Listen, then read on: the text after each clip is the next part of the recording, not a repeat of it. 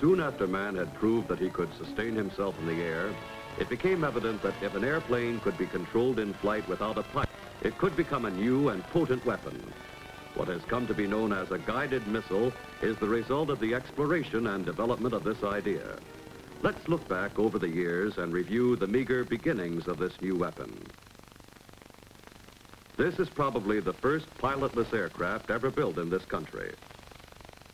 It was powered by an eight-cylinder engine and provided space of fuselage for a bomb and a stabilization unit. The unit provided control during flight and was preset before launching. The first successful test took place at Long Island, New York in September of 1916. World War I came to an end, however, before the flying bomb could be employed in combat. As a result of these experiments, the project was continued at Carlstrom Field, Florida. The flying torpedo evolved from modifications of the flying bomb. A simple wing assembly and an airplane engine were bolted around a torpedo frame. There were failures, even to a modern version of the one-horse shay.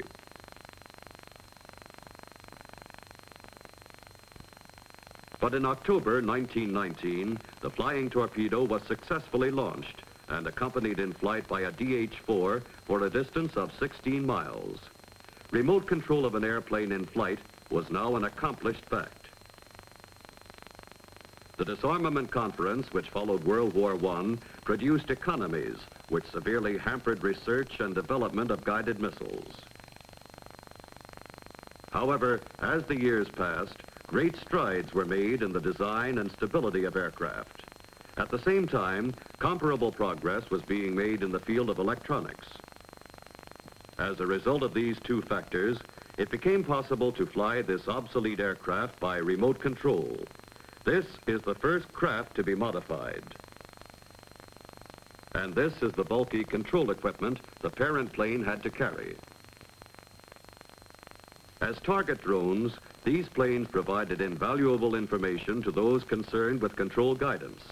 At the same time, they pointed up the necessity for more accurate anti-aircraft fire control systems. By 1939, this small, compact, cheaply produced target drone became available. Then with the start of World War II, the use of radio-controlled aerial targets for advanced gunnery training was increased. This pilotless target, launched from a specially developed catapult and remotely controlled with high-frequency radio, provided a method of training more realistic and more effective. Special techniques were required to prevent over-controlling. But with this remote control, it became possible to simulate a high-altitude bombing attack, a torpedo attack, or a dive bombing attack. The impact of war heightened interest in the offensive use of drones.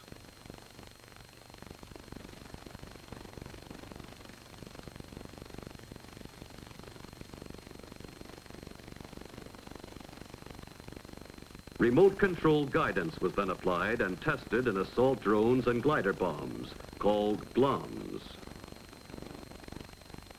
Basically, the GLOMB was a modified Army glider capable of carrying a 325-pound depth charge. It had takeoff and release control. Such a missile could be guided from a plane several miles away. Television was added for more accurate remote control guidance. With this control, the missile delivered an explosive charge to a target, but use of GLOMBs had several disadvantages. They were too slow, and the controlling plane was vulnerable to anti-aircraft gunfire. Greater speeds were necessary. Remote control devices were being developed for control of free-falling general-purpose bombs. Wings and an airplane engine were built around a 1,400-pound bomb. Known as the Bug, this unit included a television camera and transmitter and was launched from a specially built automobile. It provided flight speed in an extremely short distance. The car's driver operated a release lever mounted on the launching posts.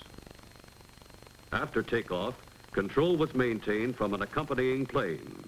The missile's television camera enabled the bomb director to fly the unit as though he were actually in it.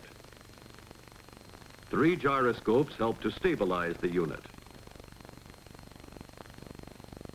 A speed of about 180 miles per hour was possible, but these units were too expensive and required cumbersome equipment. They therefore were not made operational. However, they gave us valuable experience in launching and remote control. A different approach was made to provide an inexpensive and easily produced missile. A set of 13-foot wings was bolted to a general-purpose 2,000-pound bomb. A plane would carry the missile, releasing it within some miles of the target, enabling it to glide to the objective. In some models, television was added to the controls. This, in effect, put the bombardier in the bomb itself. Each was radio controlled in both azimuth and range. It was used with some success against the U-boat pens in France and some German cities. But this glide bomb had three disadvantages. Control by television limited its use to clear daytime weather. The missile's low speed made it vulnerable to anti-aircraft fire and its wing mounting slowed down the airplane, making it vulnerable. Electronic homing systems were added to the principle of the glide bomb. This new improvement was called the BAT. BAT was designed to carry a 1,000-pound bomb. Its total weight, 1,600 pounds. It was 10 feet long. Its wingspan measured 12 feet. Furthermore, many types of planes could be easily modified for use with BAT. The operation was simple. It was air-launched within gliding distance from the target along a predetermined path. It was locked electronically on the target prior to launching. The control system continued homing the missile straight to the target. This enabled the launching aircraft to leave the area immediately after launching. This was the first completely automatic guided missile of the glide bomb type. It was used with good effect in the South China Sea area. Its greatest limitation was its slow speed, which made it vulnerable to anti-aircraft fire.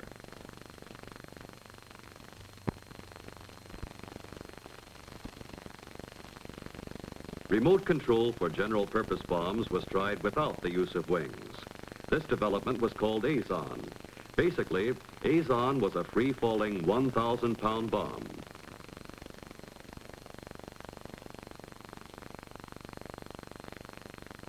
Instead of the normal rigid tail assembly, movable radio-activated control surfaces were substituted. A flare was added to the tail to assist the bombardier during the drop. The control surfaces provided correction in deflection or azimuth only, which is the reason for the name of this guided missile, the Azon. Azon was carried in normal bomb racks and used during the summer of 1944 in the European, Pacific, and Burma theaters of operation. These scenes show its use on 30 December 1944 in Burma against long, narrow targets such as bridges, trestles, and railroads. You can see the flare, which is aiding the bombardier in guiding the bomb. Against such targets, Azon was 10 times more accurate than conventional bombs. This particular target is in the Mandalay area. It is the Tongup Bridge. Here, a single aircraft is dropping four Azon bombs. But the Azon guidance had disadvantages. Its use was limited to fairly clear weather. When the bombing plane was above 30,000 feet, control at the base part of the trajectory was difficult. A straight course had to be maintained by the plane until impact of the missile, during which time the plane was vulnerable. Another attempt was made. It was a development from the pilotless aircraft principle. This was the Weary Willie. The tempo of our air assault on Europe left us with a number of heavy bombers no longer suitable for combat. Every inch of armament and crew space was replaced with TNT. Guidance was by radio from an accompanying aircraft. This represented 10 tons of TNT, 10 times more explosive power than during our tests with assault drones. But now, a large airplane could be remotely controlled. The aircraft was taken off in a normal manner by a pilot. After reaching altitude, control was transferred to the mother plane, and the pilot in the Weary Willie bailed out.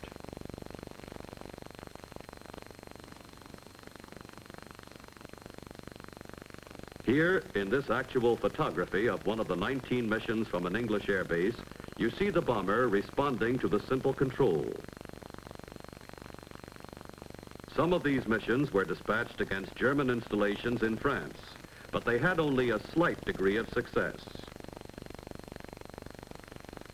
Intense anti-aircraft gunfire made accompanying planes vulnerable, and better controls were necessary to attain the goal of an effective guided missile. The geographical location of Germany was ample reason for German concentration of research effort on surface-to-surface -surface guided missiles. As early as 1936, a secret research and development center for both guided missiles and jet propulsion was set up at Peenemünde. Here, the best German scientists, assisted by thousands of workers, ultimately produced two of the most devastating weapons of World War II the V-1 missile and the V-2 rocket. The V-1 was 25 feet long with a wingspan of 17 feet. It weighed nearly two and a half tons and carried a 2,000-pound warhead. A pulse jet engine enabled the V-1 to attain a speed of 400 miles an hour. Its range was about 150 miles, cruising at a relatively low altitude. Its control system was set to launching.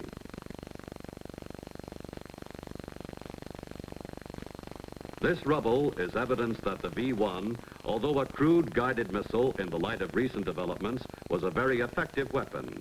Even though concentrated anti-aircraft fire and fast fighter planes destroyed many of them before they reached their targets.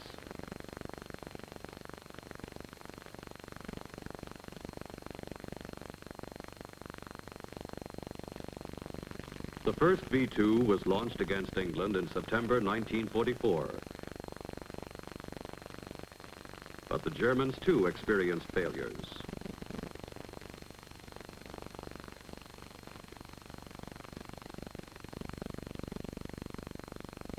This missile differed from the V-1 in many ways.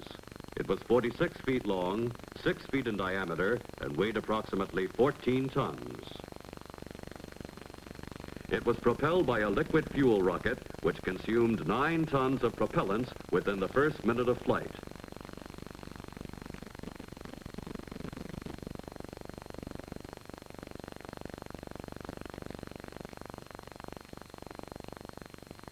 The flight course of the V-2 was also predetermined and the control system set prior to launching. A few seconds after launching, its speed was 3,500 miles per hour, its flight angle 43 degrees. A fuel cutoff controlled the range. From point of fuel cutoff, the V-2 coasted on target at supersonic speed. Arrival of the missile prior to its sound wave greatly hampered the development of countermeasures for this missile. Of the 3,000 launched against England, only 50% landed within the greater London area. From the German missiles, we gained information which spurred our efforts for further improvement.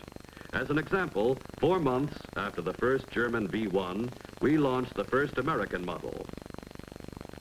This was known to American forces as the JB-2 and the Loon. After further development, this missile has been modified, and it differs from the German in that ours has radio control. Its course can be altered at will while in flight.